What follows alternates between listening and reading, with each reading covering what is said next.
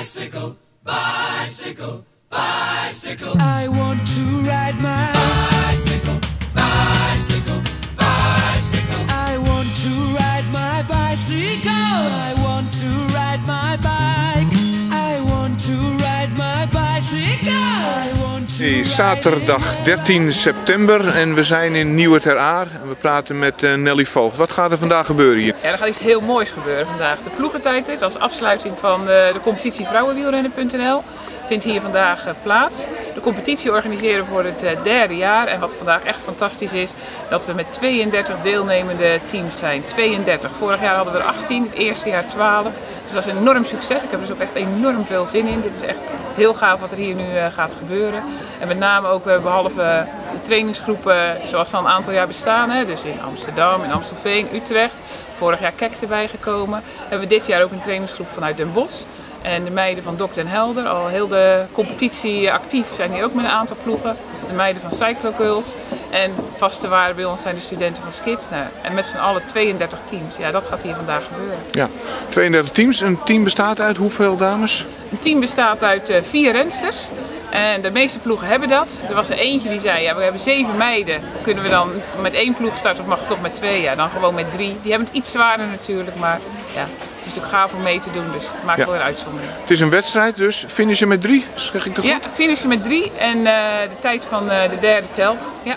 32 teams heb je net gezegd. Ehm, wat is het niveau van deze dames? Ja, dat is het mooie natuurlijk van, eh, van de hele competitie van het vrouwenwielrennen. Het niveau is heel divers. Er zitten een aantal bij. Ik sprak net al iemand die gaat vandaag de eerste wedstrijd rijden. Die is een paar maanden geleden op de fiets gekomen en kan gelijk meedoen. En ik weet zeker dat bij de winnende teams een aantal meiden zitten die al kijken naar volgend jaar om eh, amateurvrouwenlicentie of zelfs elite vrouwenlicentie te nemen. En dat we dat hier allemaal samen hebben rijden, dat, vind, ik- dat is het mooie van de competitie. Ja.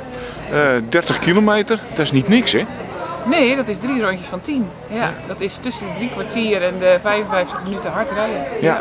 ja. Het snot voor de ogen in ieder geval. Precies, eh, precies. Dat zullen we de- straks zien. Voor Ja. de dames. Nou goed, het is een wedstrijd. Eh, je zegt aan de ene kant is laagdrempelig, iedereen kan meedoen.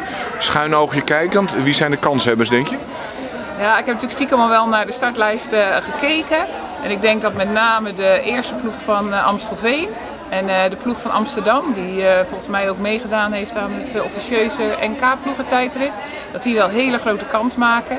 En we hebben ook de meiden van CS030, waarvan een aantal elite rijden, maar die vorig jaar reden nog bij ons. Die doen ook mee. Ik vind het zelf heel leuk dat je die verbinding hebt. Vorig jaar reden nog bij ons. Nu zijn ze meegegaan met de elitevrouwen. En ze willen vandaag graag meerijden. Dat is natuurlijk mooi. Dat is ook het mooie, vind ik, van deze competitie. Oké. Eh, jij als eh, nou, grote motor achter vrouwenwielren.nl, één van de motoren eh, moet ik zeggen in ieder geval. Ik wens je heel veel succes en een eh, fijne dag. Dank je.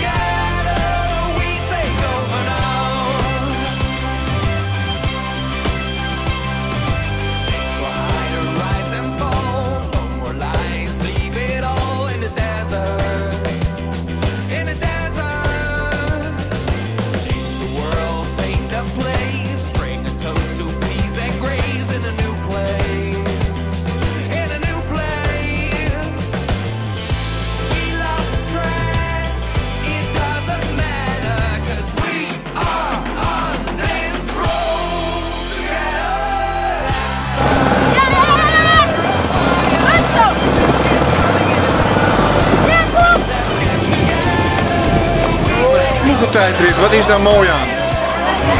teamwork. Je bent met z'n allen, nou je ziet het, we zijn met z'n twaalfen. We zijn allemaal eh, van, eh, van het dok eh, uit Den Helder. Ja, drie ploegen samenstellen, samenwerken, met z'n allen doen. Nou, dat is top. Ploegentijdrit, wat is daar zo mooi aan? De teamspirit, de sfeer. Dat zeg je opgewekt, je bent helemaal niet moe. Nee. Ja. Geef je meer energie dan dat het kost. Oké, nou dankjewel. alsjeblieft.